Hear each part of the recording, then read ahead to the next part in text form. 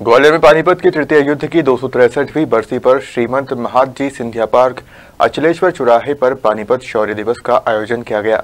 इस मौके पर एक श्रद्धांजलि सभा और संगोष्ठी रखी गई, जिसमें मराठा समाज के लोगों ने एकत्रित होकर अपने पूर्वजों के बलिदान और शौर्य को याद किया।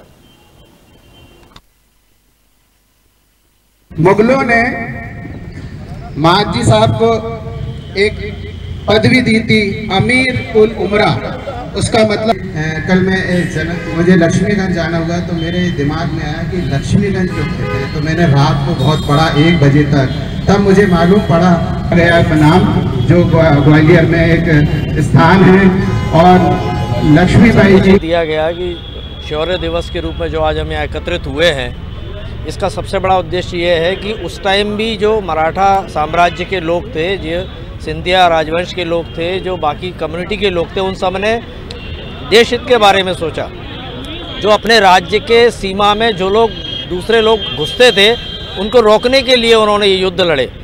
और आज मेरा सभी युवाओं से ये कहना है कि वो हमें उनसे ये शिक्षा लेनी चाहिए, हमें एकजुटता बना के रखनी चाहिए, संभावना अपने मन में रखनी चाहिए, जिससे कि आने वाली पीढ़ी को ये मालूम हो सके कि हम आज के दिन, आज के इस बेंच को, आज के इस दिवस को हम क्यों मना रहे हैं। हम सिर्फ़ चाहते ये हैं कि सब एकजुटता होकर एक साथ मिलकर एक जगह एकत्रित हों और इस जो ये आज का दिवस है इसको भव्य रूप से मनाया जाए। क्योंकि ये राष्ट्र के हित के लिए राष्ट्र की सीमाओं के अंदर घुसने वाले लोगों को रोकने के लिए बनाया गया है।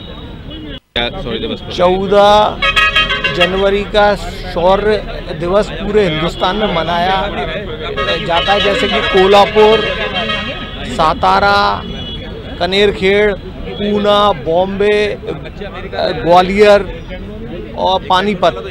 उसी